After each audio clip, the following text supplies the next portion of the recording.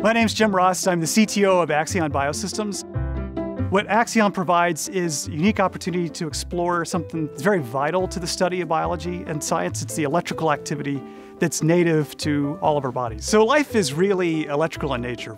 Consciousness to motor control with your muscles. A lot of what we do and how we interact with the world is electrical, but it's actually very complicated and very tedious to go and study that complex electrical behavior that emerges from our cellular activity. What we've done is created a multi-well plate. If you can cell culture, you can acquire electrical activity.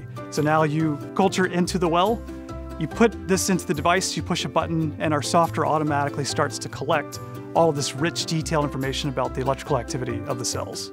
One example is Columbia University, where they recreate seizures in a dish, and in particular are looking for genetic defects that lead to seizure activity. They introduce those genetic defects to human neurons in culture, and then there study the disease symptoms in the dish at scale really fast. So now they can recreate that seizure in a dish times 100 and quickly learn the symptoms of that disease, the causes of those disease, and then the solutions for that disease in a way that moves very quickly. The relationship with the Georgia Research Alliance has been instrumental from the beginning. So as a grad student without much business experience, they provided the first seed funding to help invest in the product and the idea, and at the same time gave us access to management talent and executive talent that we really needed to keep us focused on growing the business and provide a lot of mentorship.